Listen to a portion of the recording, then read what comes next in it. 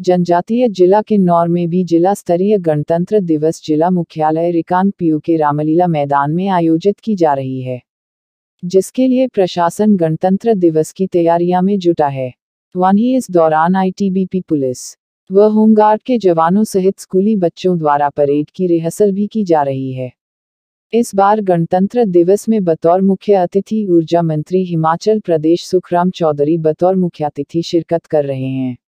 वहीं मुख्य अतिथि द्वारा ध्वजारोहण किया जाएगा व परेड की सलामी भी ली जाएगी। गणतंत्र दिवस के समारोह में विभिन्न सांस्कृतिक दलों द्वारा रंगारंग सांस्कृतिक कार्यक्रम प्रस्तुत किया जाएगा। वहीं ज़िले के सरकारी तथा गैर सरकारी संस्थाओं से संबंधित कर्मचारियों व व्यक्तियों को उत्कृष्ट कार्यों के लिए मुख्य अतिथि द्वारा सम्मानित किया जाएगा। छब्बीस जनवरी गणतंत्र दिवस हमारा एक बड़ा महत्वपूर्ण फ़ंक्शन होता है।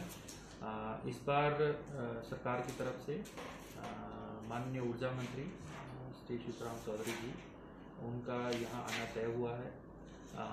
छब्बीस जनवरी के फ़ंक्शन में मुख्य रूप से आ, हमने जो फ़ंक्शन में दो चीज़ें जो हैं उसको सबसे ध्यान में रखा है। आ, पहली चीज़ कि प्रदेश हिमाचल प्रदेश अपना पूर्ण राज्यत्व दिवस पच्चीस तारीख को मनाएगा। और उसके आगामी पूरे एक वर्ष तक उसके उपलक्ष्य में काफ़ी सारी गतिविधियाँ आयोजित की जाएँगी तो उसको भी ध्यान में रखा जाएगा।